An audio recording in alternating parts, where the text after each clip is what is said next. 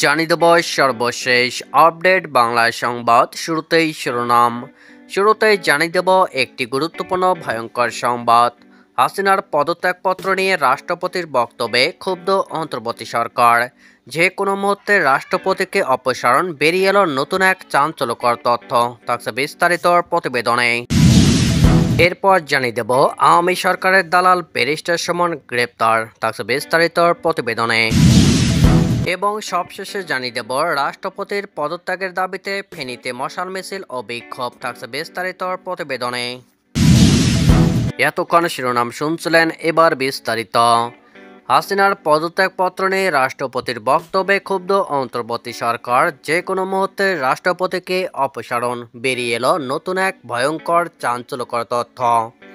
ছাত্র জনতার গণ অভ্যুত্থানে ক্ষমতাচ্যুত প্রধানমন্ত্রী শেখ হাসিনার পদত্যাগপত্র নিয়ে রাষ্ট্রপতি মোহাম্মদ শাহাবুদ্দিন যে বক্তব্য দিয়েছেন, তা নিয়ে অন্তর্বর্তী সরকারের ভিতরে ক্ষুব্ধ প্রতিক্রিয়া তৈরি হয়েছে। একাধিক উপদেষ্টা ক্ষুব্ধ প্রতিক্রিয়া ব্যক্ত করেছেন। রাষ্ট্রপতি মিথ্যাচার করেছেন বলে মন্তব্য করেছেন আইন উপদেষ্টা আসিফ নজরুল।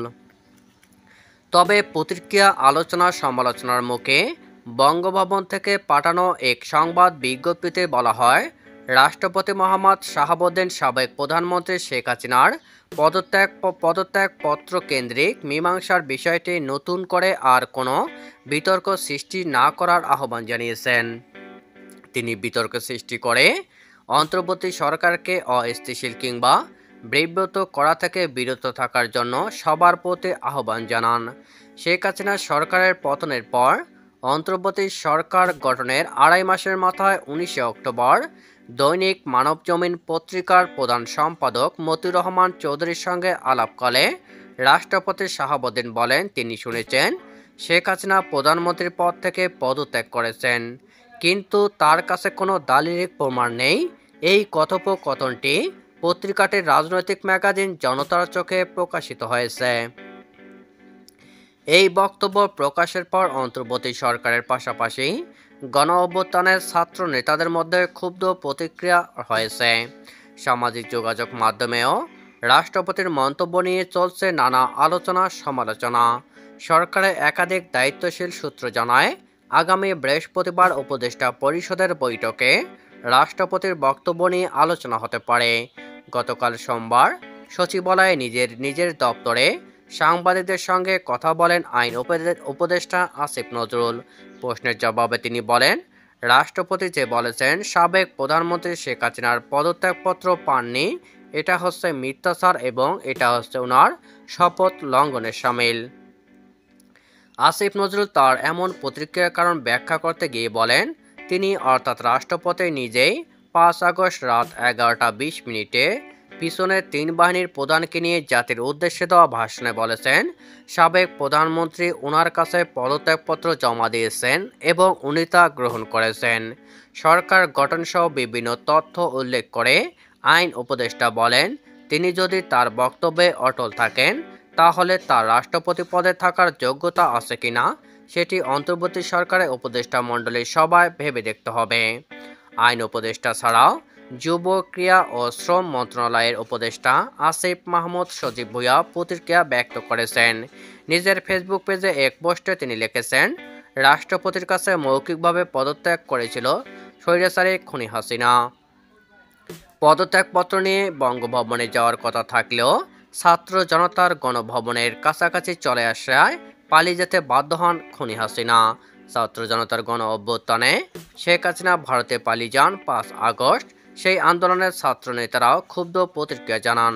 সমন্বয়ক হাসনাত আবদুল্লাহ তার ভেরিফাইড ফেসবুক পেজে লিখেছেন, হাসিনাকে উৎখাত করা হয়েছে একটি অবৈধ সরকারকে জনগণ গণ অভ্যুত্থানের মাধ্যমে উৎখাত করেছে। এখানে পদত্যাগপত্রের কোনো ভূমিকা নেই।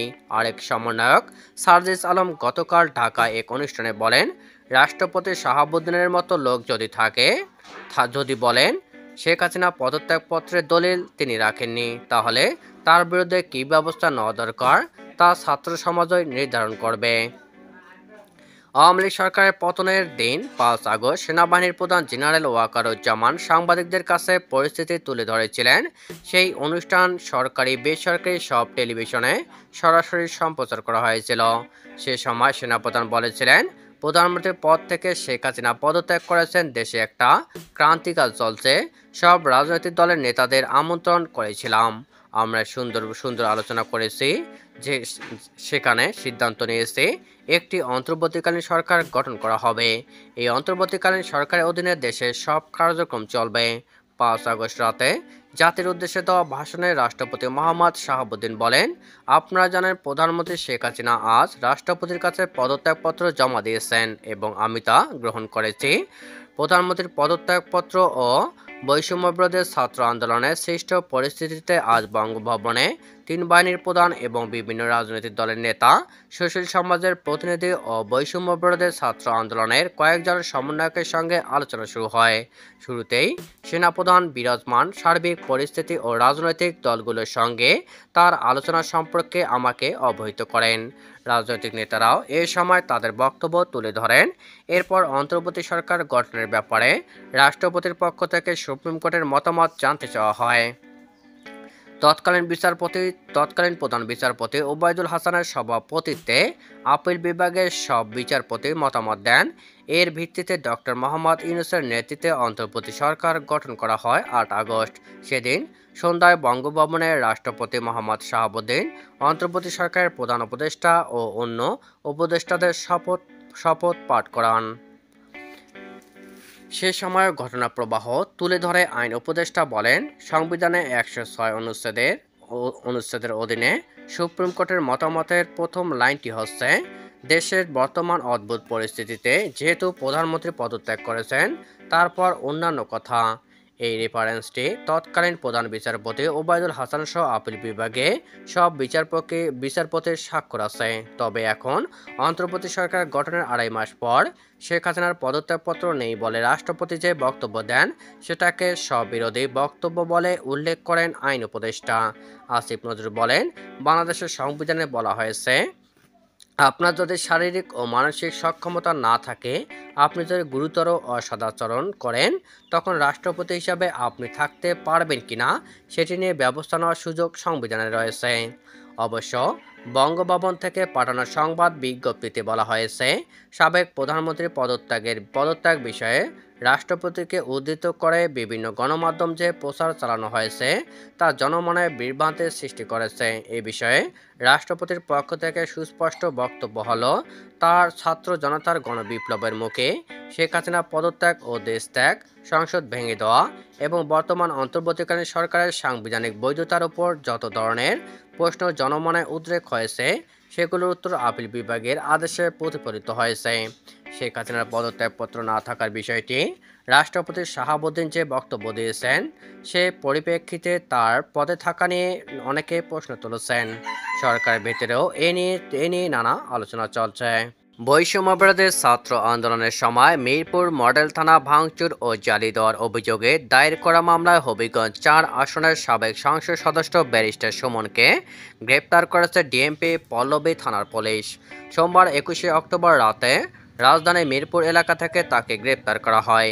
বিষয়টি নিশ্চিত করেছেন পল্লবী থানার ভারপ্রাপ্ত কর্মকর্তা মোহাম্মদ নজরুল ইসলাম। তিনি বলেন, রাতে মিরপুর পল্লবী এলাকা থেকে সাবেক সংসদ সদস্য ব্যারিস্টার সুমনকে গ্রেপ্তার করা হয়েছে। তার বিরুদ্ধে বৈষম্য বিরোধী ছাত্র আন্দোলন চলাকালীন ছাত্র হত্যার মামলা রয়েছে। এছাড়া মিরপুর মডেল থানার ভাঙচুর ও অগ্নিসংযোগের ঘটনাও তার বিরুদ্ধে মামলা আছে। ব্যারিস্টার সুমনকে পল্লবী থানার একটি মামলায় গ্রেপ্তার দেখানো হয়েছে। এর আগে সোমবার রাত সোয়া একটার দিকে নিজের ভেরিফাইড ফেসবুক অ্যাকাউন্ট থেকে একটি পোস্ট দেন ব্যারিস্টার সুমন। সেখানে তিনি লেখেন, আমি পুলিশের সাথে যাচ্ছি, দেখা হবে আদালতে। দোয়া করবেন সবাই। গত সংসদ নির্বাচনে আওয়ামী লীগের মনোনয়ন চেয়েও তা পাননি সুপ্রিম কোর্টের আলোচিত এই আইনজীবী। তবে স্বতন্ত্র হিসাবে আওয়ামী লীগের প্রার্থী এবং সাবেক বেসামরিক বিমান পরিবহন ও পর্যটন প্রতিমন্ত্রী অ্যাডভোকেট মাহবুব আলীকে পরাজিত করে হবিগঞ্জ চার আসনে নির্বাচিত হন তিনি। রাষ্ট্রপতি মোহাম্মদ শাহাবুদ্দিনের পদত্যাগের দাবিতে ফেনীতে মশাল মিছিল ও বিক্ষোভ সমাবেশ করেছে বৈষম্য ছাত্র আন্দোলনের শিক্ষার্থীরা। সোমবার সন্ধ্যায় শহরে জেল রোডের সামনে থেকে মশাল মিছিল শুরু হয়ে শহরের প্রধান প্রধান সড়ক প্রদক্ষিণ করে কেন্দ্রীয় শহীদ মিনারের সামনে বিক্ষোভ সমাবেশ করে। এ সময় রাষ্ট্রপতি ও আওয়ামী লীগ বিরোধী বিভিন্ন স্লোগান দেন বিক্ষোভকারীরা। মিছিলে বৈষম্যবিরোধী ছাত্র আন্দোলনের সমন্বয়ক মোহাম্মদ আজিজ, ওমর ফারুক শুভ ও মোহাম্মদ সোহাগ রাশেদ আফরিন সহ কয়েকজন শিক্ষার্থী ছিলেন। ছাত্র জনতার গণ আন্দোলনের মুখে পাঁচ আগস্ট ভারতে পালিয়ে যান সাবেক প্রধানমন্ত্রী শেখ হাসিনা, যার মধ্য দিয়ে আওয়ামী লীগের পনেরো বছরের শাসনের অবসান ঘটে। এর আড়াই মাসের মাথায় গত উনিশে অক্টোবর দৈনিক মানবজমিন সম্পাদক মতিউর রহমান চৌধুরীকে দেওয়া এক বিশেষ সাক্ষাৎকারে রাষ্ট্রপতি শাহাবুদ্দিন বলেন, সাবেক প্রধানমন্ত্রী শেখ হাসিনার পদত্যাগের কোনো দালিলিক প্রমাণ তার কাছে নেই। এ নিয়ে এ নিয়ে সংবাদ সামনে আসার পরপরই দেশজুড়ে নানা আলোচনা সমালোচনা শুরু হয়। ফেনীতে বৈষম্যবিরোধী ছাত্র আন্দোলনের সমন্বয়ক মোহাম্মদ আজিজ বলেন, রাষ্ট্রপতি আওয়ামী লীগের দালাল, তিনি আওয়ামী লীগকে পুনর্বাসনের কাজ করছেন। অবিলম্বে তাকে পদত্যাগ করতে হবে। একই সঙ্গে আওয়ামী লীগ ও এর অঙ্গ সহযোগী সংগঠনগুলো রাজনীতি নিষিদ্ধ করতে হবে। বক্তারা বলেন, বৈষম্যবিরোধী ছাত্র আন্দোলনের অর্জন কোনোভাবেই বৃথা যেতে দেওয়া যাবে না।